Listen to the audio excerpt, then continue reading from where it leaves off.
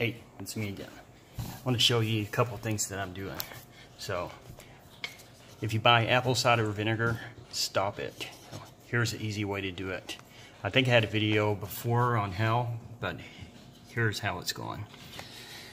This one right here is going to be ready to transfer just like these bottles were transferred on the 10th of this month. But just go ahead and look and you can see the acidity in it is when I push it down a little bit. Look at all those bubbles. So that's working off very good. Has a nice color. And here's two different batches. These two are in their final stage of finishing off. This one, that's uh, Granny Smith, and this one is a Fuji apple.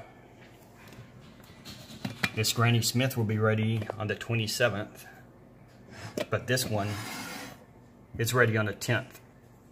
So I tasted it, and yes, it is very strong, very strong. It's a, um, you know, just a real strong apple cider vinegar. So if you're still buying apple cider vinegar, you might want to give this a try. It's very easy to do. You know, it just sits and it does all the work for you.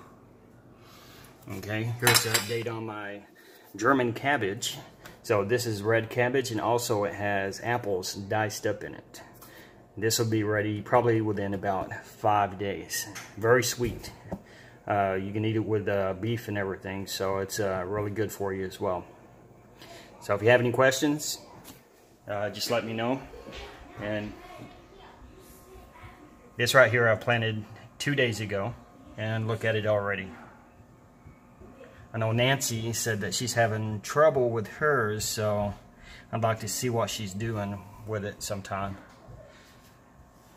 I'm not too fond of the romaine, the way it grows, but this one right here has been going for two weeks. And you look and see how dark green it is. Very, very healthy. So I just put a little bit of Epsom salt in each one of these and you know, it feeds very well. Say bye.